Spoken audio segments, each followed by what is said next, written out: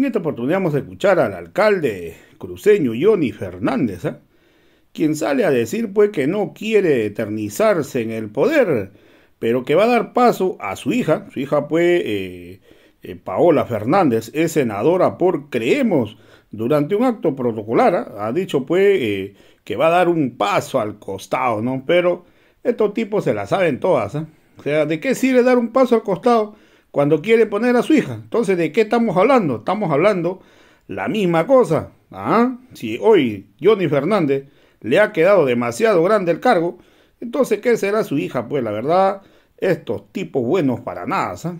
Hoy la situación es crítica en, en Santa Cruz, porque hoy, hoy la verdad que eh, se han juntado la, gente, pues, los pititas, estos gringuitos que viven en la zona, en el casco urbano de, de Santa Cruz, se han juntado para formar una junta vecinal.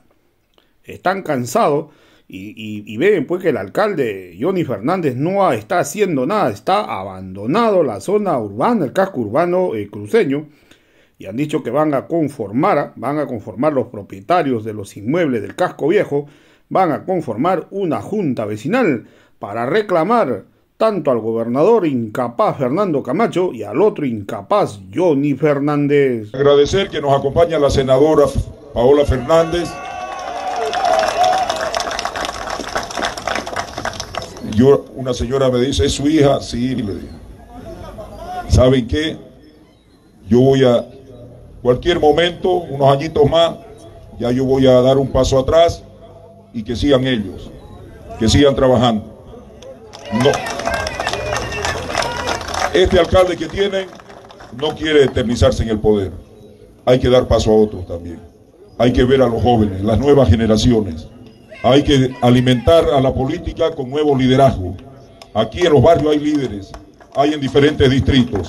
Y la idea es de que se vaya oxigenando la política con eso, con nuevos liderazgos. Creo que eso es lo más importante en este momento. Agradecer que nos acompaña la senadora Paola Fernández.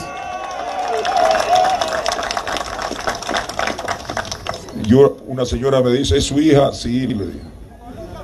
¿Saben qué? Yo voy a, cualquier momento, unos añitos más, ya yo voy a dar un paso atrás y que sigan ellos, que sigan trabajando. No. Este alcalde que tienen no quiere eternizarse en el poder. Hay que dar paso a otros también. Hay que ver a los jóvenes, las nuevas generaciones. Hay que alimentar a la política con nuevo liderazgo. Aquí en los barrios hay líderes, hay en diferentes distritos. Y la idea es de que se vaya oxigenando la política con eso, con nuevos liderazgos. Creo que eso es lo más importante en este momento. Yo vivo una cuadra del Parque Arenal y lastimosamente el centro está muerto. Y la gente por eso no quiere venir, la gente de afuera, no sé, de un quinto anillo, no quieren venir al centro porque dicen, hay muchos maleantes, no podemos ir al mercado Los Pozos, al Siete Calle, a, hacer compras. ¿Por qué? Porque hay maleantes. Lastimosamente, Estamos desamparados en autoridades, en policía, gracias, querido arquitecto. Y para terminar, por favor, si se puede hacer una colecta de firmas, querido arquitecto, entre todos los vecinos para que mandemos al, comando departamental. Y nos hagamos escuchar de esa manera, porque los vecinos del centro somos pasivos. Si tenemos que actuar como cholos, como se dice vulgarmente, actuemos. Si tenemos que bloquear, bloqueemos para exigir y esa es la forma que tenemos que hacer escuchar, queridos arquitectos, queridos amigos y vecinos. Esta ciudad está abandonada, está abandonada y dejada. Nosotros pagamos a los, a los, a los, aquí a los, a los representantes de nosotros y lo hemos puesto en este puesto para, trabajar para nosotros. Nosotros no trabajamos para ellos. Entonces, todas nuestras quejas, todo lo, todo lo que queda aquí, todo lo que nosotros estamos hablando y realmente proponiendo, porque estamos proponiendo, va a quedar en nada. Va a quedar en nada. ¿Y saben por qué va a quedar en nada? porque no tenemos una junta vecinal y sin junta vecinales no nos van a dar pelota. Entonces, honestamente, no es cuestión de política. ¿A quién le importa la política en este momento? No sirve para nada la política. Necesitamos una junta vecinal, necesitamos organización, organizarnos. Por eso somos una asociación de propietarios. Pero si, si como control social debemos hacer una junta vecinal, veamos los requerimientos, podemos formarla entre todos nosotros. Hagamos una junta, ya, una junta que sea, que cumpla una función social estrictamente.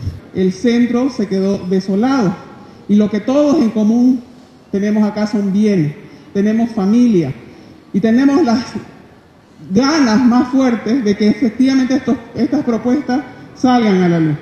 Y principalmente creo que lo que va a salvar a nuestro centro como ciudad, nuestra cuna cultural, va a ser el turismo y la cultura. Entonces, apegarnos fuertemente a acciones y políticas que defiendan la seguridad para que podamos encaminar un, un firme enfoque a lo que es la cultura y la preservación de nuestro turismo partiendo del centro. Muchas gracias. Ya intentaron alquilar mi inmueble varias veces para hacer discoteca. Me ofrecieron valores que muchas personas por la mitad del precio alquilarían sus inmuebles.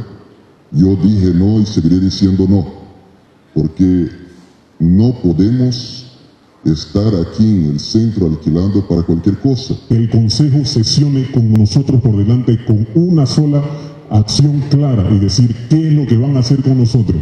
Con prioridad deberíamos, deberíamos establecer cuáles son los, riesgos que tiene el centro, como la seguridad ciudadana y, las prioridades que deberemos exigir como el transporte público. Hay las instancias correspondientes, ellos se han adueñado, cocinan ahí, cocinan, lavan, botan ahí, el otro lo está vendiendo mocochinche y demás cosas. ¿Y quién es el que tiene que hacer eso? La alcaldía municipal. Entonces, ¿qué es lo que tenemos que hacer en una comisión jurídica? Yo como abogado no tengo ningún problema y tengo entendido que deben haber aquí varios abogados para integrar esa comisión. Es simplemente que la alcaldía cumpla sus funciones, nada más. El, tráfico, eh, la delincuencia, los malvivientes, los malvivientes que están allá al lado de Toby ¿no? que empiezan a llegar a las 10 de la noche y ahí duermen y se pelean, llegan borrachos y da miedo pasar. Ya me puedo imaginar la gente que vive por los pozos, la gente que vive en, el arenal. Todo el casco viejo es una zona roja.